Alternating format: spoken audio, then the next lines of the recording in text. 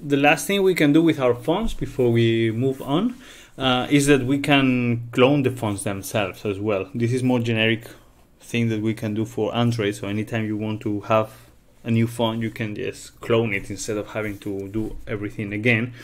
You can download a free application that is called Clone Phone. I have it here. So when you open it, it will transfer when you use it it will transfer all the information calendar and data from one phone to another so effectively you could have one tablet or phone uh, already parameterized they don't have to be exactly the same. It can it can be two different like uh, samsung galaxy and a huawei something right? So if you click in this is the old phone you go to a screen where you can scan codes all right so that would be for the old phone.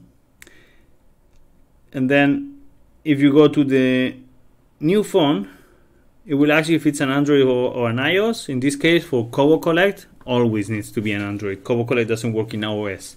So uh, always type in Android, and then it will ask you to disable mobile data, and then it will give you a QR code. So it will it's it's written here that install Clone Phone in the old phone, so you have to install it in the other phone, and then scan QR code with the old phone.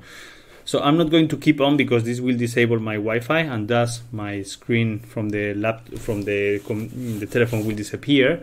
But you will just get here a QR code like before. And besides, I don't want you to scan my QR code, so I won't give it to you.